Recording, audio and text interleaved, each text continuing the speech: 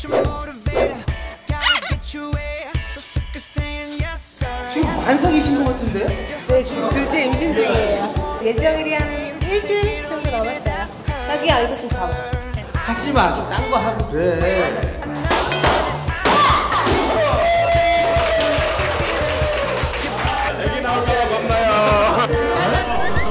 이러면 안 되죠.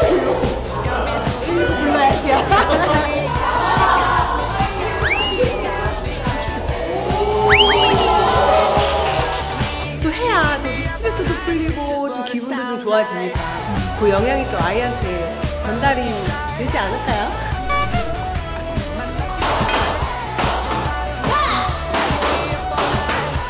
괜찮으세요? 하던 거라서 네, 저는 괜찮아요.